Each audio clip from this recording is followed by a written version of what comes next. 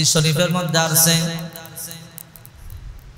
এমন একটা ঘটনা, মা আয়েশা সিদ্দিকা রাদিয়াল্লাহু তাআলা আনহা বলেন, আল্লাহর হাবিব সাল্লাল্লাহু আলাইহি ওয়াসাল্লাম বাড়িতে আসলেন। আসার পরে মা আয়েশা বলে, ইয়া রাসূলুল্লাহ, আজকে এমন একটা দৃশ্য আমি দেখলাম গো নবী, যা জীবনে কোনোদিন দেখি নাই। আল্লাহর হাবিব সাল্লাল্লাহু আলাইহি ওয়াসাল্লাম বললেন, আয়েশা, কি দেখেছ? ও পয়গম্বর, আমাদের ঘরে চারটা খেজুর ব্যতীত আর কোনো খাবার নাই। নবী, আমি আয়েশা ইফতার করবার জন্য দুইটা খেজুর রেডি করেছি। আর দুইটা খেজুর আমি আপনার জন্য রেখে দিয়েছি। ও পয়গম্বর, আমি যখন ইফতার করবার জন্য খেজুর দুইটা নিয়ে বসলাম, হঠাৎ করে দরজার সামনে একটা ভিক্ষুক মহিলা এসে বলে, আল্লাহর বান্দা বান্দিরা তিনটা দিন ধরে আমিও কোনো কিছু খাই নাই। আমার ছোট ছোট দুইটা সন্তান কোনো কিছু খায় নাই। আল্লাহর হস্তে যদি তোমাদের ঘরে কোনো খাবার থাকে, সন্তান দুইটারে দাও। আমি আয়েশা, আর সহ্য করতে পারলাম না। আমার বাগের দুইটা খেজুর নিয়ে বললাম, মা, নাও। তোমার সন্তান দুইটাকে দাও। আমার ঘরে তোমাকে দেওয়ার মতো আমার আর কিছু নাই। এই কথা বলবার পরে মহিলা দুইটা খেজুর নিয়ে চলে যায় ইফতারের সামনে। আমি মনে মনে ভাবলাম, দেখি তো মহিলাটা কোথায় যায়। একটু সামনেই তার দুইটা সন্তানকে খেজুর গাছের নিচে বসাই আস। ও পয়গম্বর, দেখলাম মা তার সন্তান দুইটার ডাইকা বলে, আয় দুইটা সন্তানকে খেজুরের বিসি গুলো খসাইয়া বিসি গুলো ফালাইয়া মা তার দুইটা সন্তানকে দুইটা খেজুর খাওয়ায়। সন্তান দুইটা বলে, মা, আমরা যেমন তিন দিন ধরে অনাহার। ও মা, তুমিও তো তিন দিন ধরে অনাহার। মা একটা খেজুর তুমি আমাদের দুই ভাই বোনকে খাওয়াও, আর একটা খেজুর তুমি মা খাও। মা বলে, সন্তানের আরে তোরা খা, আমি খাওয়া লাগবে না। ও সন্তানেরা, তোরা যখন খাবি অটোমেটিকলি আমি মায়ের পেট ভরে যাবে। আল্লাহু আকবার। ও নবী, এই দৃশ্য দেখে আমি আয়েশা আর সহ্য করতে পারলাম না রে নবী। ওই মহিলাকে আমি আমার ডাকাইলাম। মহিলা আসার পরে আমি বললাম, মা, আমার বাগের দুইটা খেজুর তোমাকে দিয়েছিলাম। আমার আর কোনো কিছু তোমাকে দেওয়ার মতো নাই।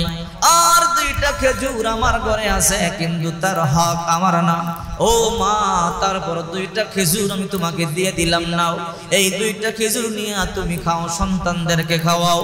ও নবী, আমি ভাবলাম, মা, দুইটা খেজুর তো তার দুইটা সন্তানকে দিছে। এই দুইটা খেজুর মনে হয় মা নিজে খাবে। মা এই দুইটা খেজুর নিয়ে হাঁটি হাঁটি পা পা করে আবার সন্তানদের কাছে চলে গেল।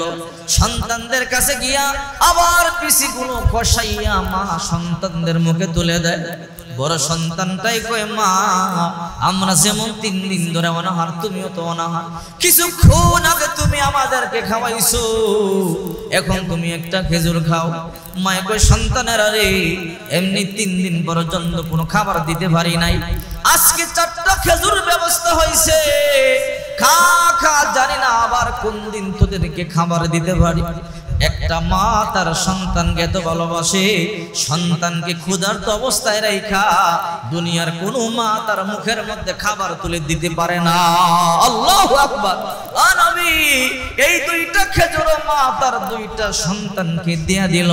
আল্লাহর হাবিব তখন বলল, আয়েশা রে, দুনিয়ার মধ্যে ভালোবাসার প্রকার ভেদ আছে। স্বামী আর স্ত্রীর ভালোবাসা আছে ভাই ভাইয়ের ভালোবাসা আছে ভাই বোনের ভালোবাসা আছে। দাদি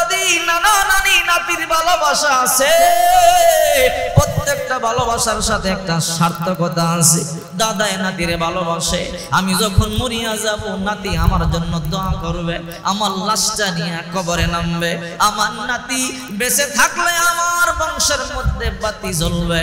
সন্তানকে বাবা ভালোবাসে, সন্তান ভালোবাসে। প্রত্যেকটা ভালোবাসার মধ্যে সার্থকতা কিন্তু এই দুনিয়ার মধ্যে একটা ভালোবাসা আল্লাহ তালা দিস যেই ভালোবাসা কোনো মিটার দিয়ে মাপা যাবে না। যেই ভালোবাসার কোনো সীমানা কেউ বের করতে পারবে না। ওই ভালোবাসাটা হলো মা আর সন্তানের ভালোবাসা। যার মধ্যে বিন্দু পরিমাণ সার্থকতা নাই। একটা মা প্রয়োজনে তার সন্তানের জন্য জীবন পর্যন্ত বিলা দিতে পারে। আল্লাহ আকবার বলেন এ আয়েশা, তুমি যা দেখেছ, এটাই হলো প্রকৃত। ভালোবাসা। আল্লাহ আকবার বলেন এই দুনিয়ার মধ্যে এমনও সন্তান আছে, মায়ের এক যুগ হয়ে যায়, খবর নেয় না। দুই যুগ হয়ে যায়, বাবার খবর নেয় না। মা বাবা সন্তানকে কষ্ট করে, আদর করে, যত্ন করে, লেখাপড়া করায়। সন্তান বিদেশের বাড়িতে যায়, সন্তান ঢাকা শহরে যায়, বড় আরামে আছে, সংসার করে, সন্তান নিয়ে বিভিন্ন আনন্দে আছে। ফুর্তিতে আছে যোগ চলে যায় বছর চলে যায়। গ্রামের মধ্যে মা আছে, বাবা আছে, খবর পর্যন্ত নেয় না। কিন্তু মা আর বাবা খায় আর না খায়, সুখে থাকে আর দুঃখে থাকে। প্রতিটা নামাজে সাজদায় গিয়ে বলে, আল্লাহ, আমার সন্তানটাকে যেতায় রেখেছো, আমার সন্তানটা যেতায় আছে। আমার সন্তানটাকে কিন্তু তুমি সুস্থ আর ভালো রাখিও। ঠিক কিনা জোরে বলে